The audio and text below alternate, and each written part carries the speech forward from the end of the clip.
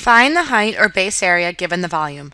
A rectangular cup with a volume of 60 cubic centimeters and a base area of 10 centimeters squared is 50% filled with water. What is the height of the water in the cup? So right now we know the volume of this rectangular cup is 60 cubic centimeters.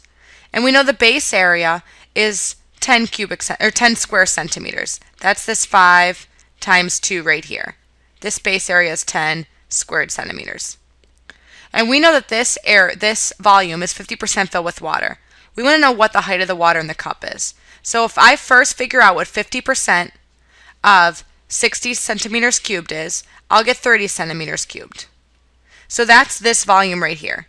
That represents this volume here below this line. And now we want to figure out what the height is. Well, the height we can find just by using that formula, volume equals big B times H. Remember, big B stood for base area. We know that the base area of this rectangular cup is 10.